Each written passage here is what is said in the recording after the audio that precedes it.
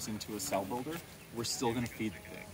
Because if our nurse bees get nutritionally stressed, they won't rear queens for us. And what we want them to do is to take our grafted worker larvae and start converting them onto a queen development pathway. So we got to give them the ability to do that. So I'm going to gently open up these things. They tend to be really docile to work with. I will lightly smoke mine. Tucka won't when their cells are open. So we'll open this up. And what I have in here was I grafted on Friday so that everyone yesterday could see 24 hour old cells, which today are now 48 hour cells. I took a couple of Christina's and I put them in, and they're down here. Notice one of them has no change. That one was cannibalized. They did not accept it, and one of them was. Before I talk too much, I want to put Ian's in here Mm-hmm, so that his cells. See how that sun just really came Yes, out? yes. These become ovens. Nope, stand right there. I'm using your shade. Yeah. I'm totally using you right there.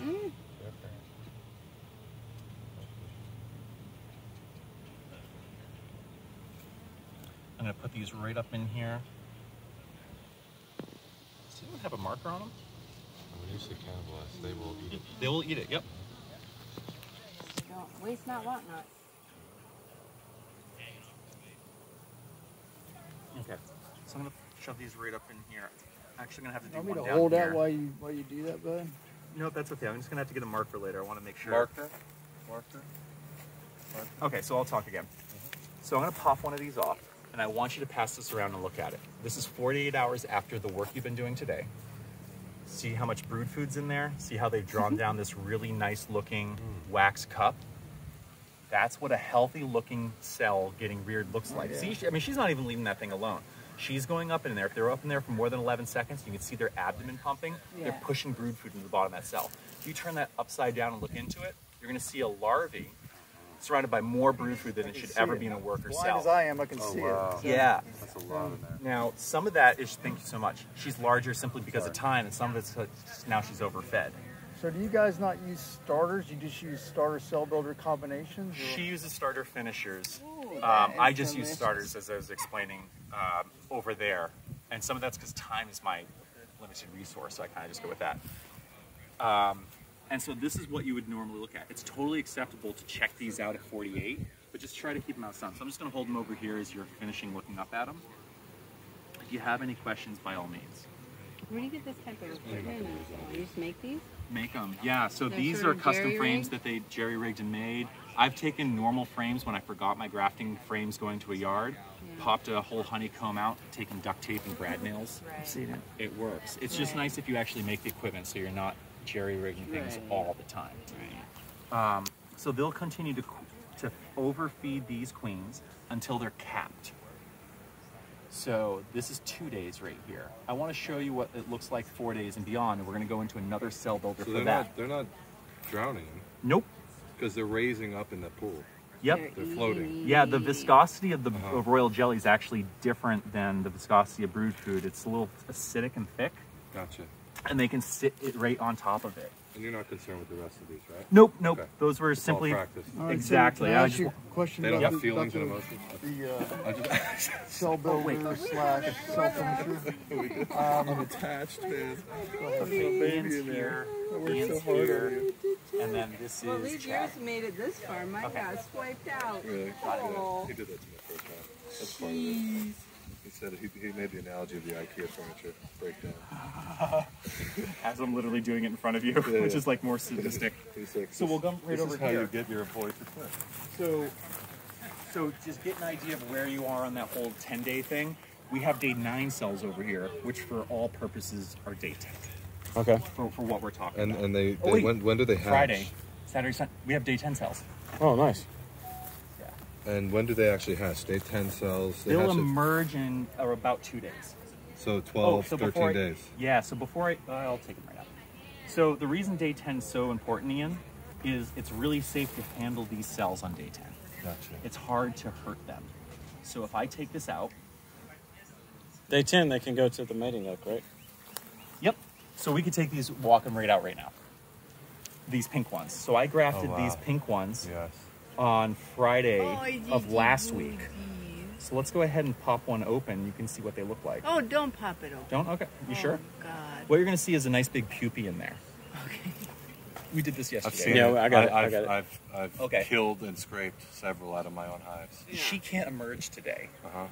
So what we can do is we can take all of these out, the red ones, safely pop them off here, and then walk right over to the queenless ones that you just harvested from, and that'll eventually become the new queen. Right. So that's where we are in the cycle of all Which is what she'll do tomorrow or whenever we're all gone. Wow. Yeah. And then you'll wait for her to go mate, start laying, and you'll sell it, Yep, right? yep, exactly. Or turn them into a whole nuke. You can build it right up from there, whatever you want. Now these ones that still have the jelly, those were grafted just a few, uh, less a few days ago, so they're still consuming the rest of the jelly. They're less mature than these. Oh, you're you can looking see at it the jelly on the translucently, top. right oh through oh it. my Yep. god. Yeah, yeah, how yeah. Cool. First Yep. it's clear.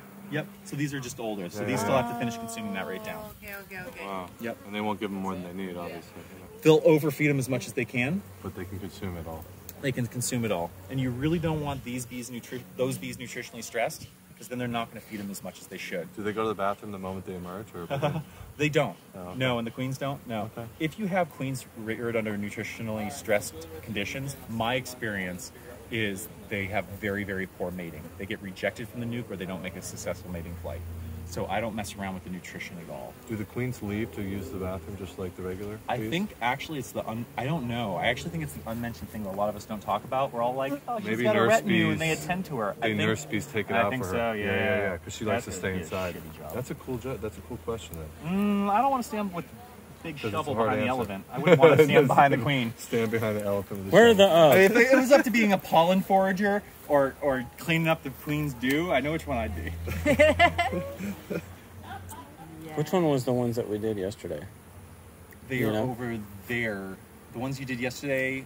Oh, Did- we oh, stuck oh, it in oh, one of sorry. these. So we did. We did.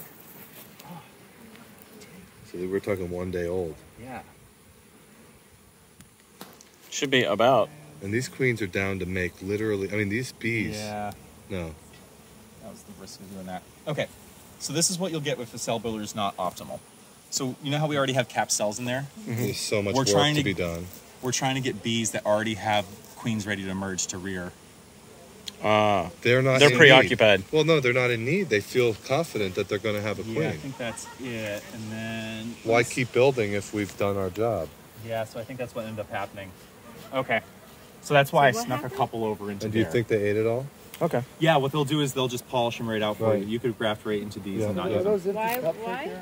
Yeah, so that's not Polished reflective of the grafts. That's reflective of the cell It's, that they placed were into. happy. Whoa, with their work. whoa. What? Wait, what, why did they cannibalize them? Gotcha. So yesterday we took some of the grafts that people had done, we put them into here, but we already have capped cells in here. Oh, So these bees already have possibly like their, their queen needs fulfilled, and we're asking them to rear new ones. They and they're didn't. like, we're done. They've got even time delayed ones. Yeah. So there are some corners you can cut, and I've totally done that before and had a result, and sometimes not. So we got the knot. Which is hence the multiple. But did Tucka also put them over here? She put some in one of those. Okay, so this one didn't. Good learning experience. Cap cells, don't do that. Let's see. Oh, she put some in the queen bank.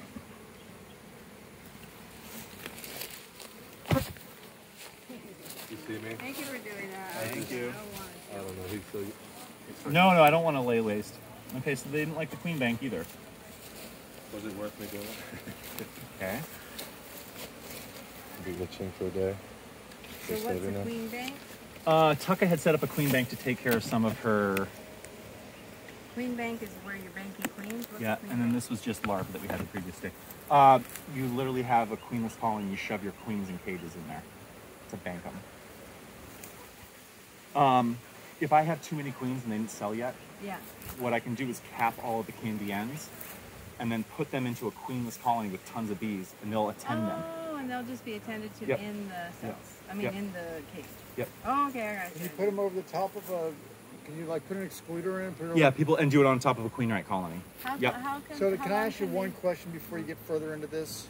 Okay, now, this is this a, a, a cell builder finisher or or is this just a different version of that? This is just a different ver. This is a finisher, so it's just holding cap cells. Yeah.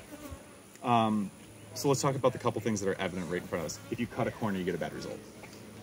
So when you're starting to set this up, don't cut a corner. When I make my cell builders in here, Mm-hmm. I would say. Sheesh, can't even all the contents of this for adult bees, most likely that, and maybe half that goes into there. It's about nine pounds of bees. All into one. One box. So that this thing is dense, overflowing, and you feel bad about closing the lid. And Done that before. Yep, and then feed it, and then that will be your cell builder. If you Okay. skimp on it too much, either dramatically cut down the number of cells you're going to put in, and then you can still get a really good result. Like that's not a huge cell builder, but the cells end up looking pretty good. I'm only grafting 12, but don't graft 60 into something that doesn't have that many bees. Right. Yep. Well, cool. So, so yeah. So day one comes on over here at the start, and then you can see them up to 24 hours. You see that they're capped. Day 10, they come right out of here and they go into section three. And that's it. Awesome.